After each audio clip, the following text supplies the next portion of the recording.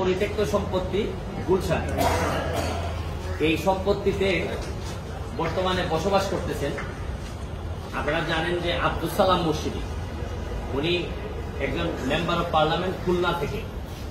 উনি আবার ফুটবল ফেডারেশনের সিনিয়র সহসভাপতি। উনি বসবাস করতেছেন রাজুকের সাথে। ওনার বিরুদ্ধে অভিযোগ থেকে রাজুকের সাথে কোলাবোরেশন করে এই দলিল টলিল বানিয়ে উনি এখানে দখল করে আছেন। তো আমি একটা অ্যাপ্লিকেশন দিয়ে দুদকে, আমি একটা অ্যাপ্লিকেশন দিয়ে বলছিলাম যে সম্পত্তি হচ্ছে গিয়ে গণপূর্তের তো রাজুক এবং উনি কীভাবে এটার বেনিফিশিয়ারি হন? রাজুক কীভাবে এটার মালিকই হয় বা ক্ষমতা প্রাপ্ত হয় কীভাবে? তো দুদক অনেকদিন ধরে কোনো কিছু করছেন না। এই জন্য আমি একটি হাইকোর্টে, আপনারা জানেন যে মাননীয় বিচারপতি নজরুল ইসলাম তালুকদার এবং মাননীয় বিচারপতি খিদির হাট সাহেবের কোর্টে আমি একটি রিট দায়ের করি, আমি নিজে বাদী হয়ে public interest public interest litigation হিসাবে রিটটি দায়ের করে।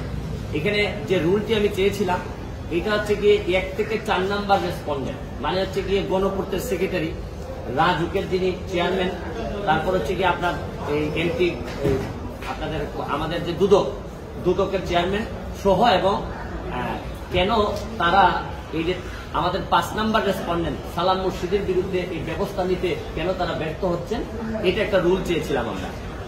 মাননীয় আদালত আমাদের কথা শুনেছেন, শুনে যেটা স্পষ্ট বলেছেন যে এই সম্পত্তি তোরা গণপূর্ত এটা তো রাজুক কোনোভাবেই দিতে পারে না। এবং এটা আমাদের দেখা দরকার।